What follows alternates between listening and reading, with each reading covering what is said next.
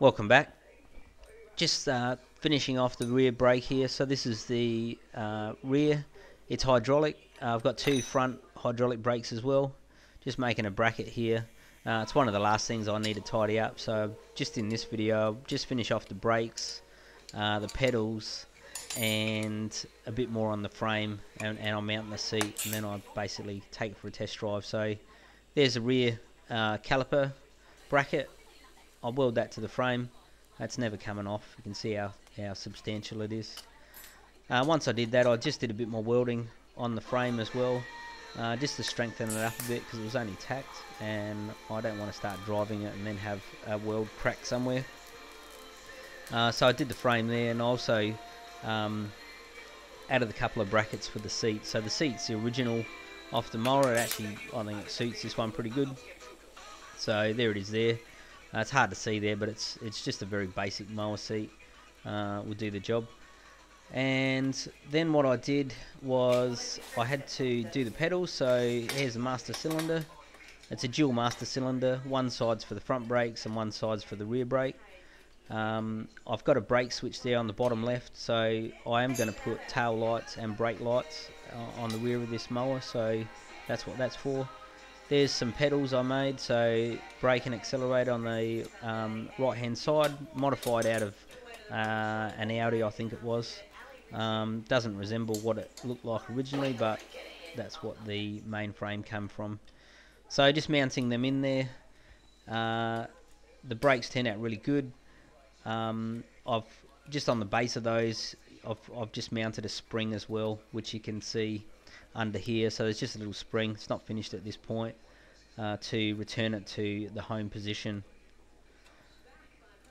And uh, they seem to work pretty well. So here's the uh, accelerator cable. I've actually tinned that cable and it's a bit hard to see in there but I've, I've tinned it. I've soldered it a little bit and once I've stuck it in there I've bent the end over. This is how I like to do the ends. So I just uh, once I've tinned it so I'm guaranteed the solder's going to stick. Bit more flux. Low temperature torch and just some silver solder or soft solder. Fill the tube up, works a treat. There's absolutely no chance that cable is ever coming out. And what I like about this is um, it's easy, it's cheap, and it's very neat as well. So you'll have a look at the end of the cable in a sec, but uh, that's the way I like to do it. I know that there's a few other ways you can do it. I've tried a few things, but this is what I like. So there's the end of the cable. Sweet. That's never going to break. Uh, so from here, there was a bit more work I have to do on the body. Um, there's the front brakes as well, just to give you another look at those. Front suspension, double wishbone, the front disc looks awesome.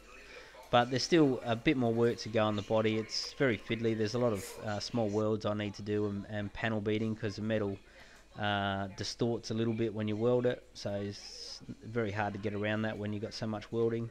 But um, at the end of this video, I've taken uh, or added a bit of the first drive. Uh, it's nothing spectacular, but it, you know it's been really great to be able to drive it. It's got reverse, which is awesome. Plenty of power. Uh, you don't really get a good idea in this video, but I'll put it at the end here. You can have a look at it in the next video. Hopefully, I'll finish this bodywork off and um, take it for a decent drive. So all I've done is just check that everything turns okay, there's no problems, and uh, you know I'm very happy with the way it drove. So uh, everything is shaping up really well. So anyway, stay tuned.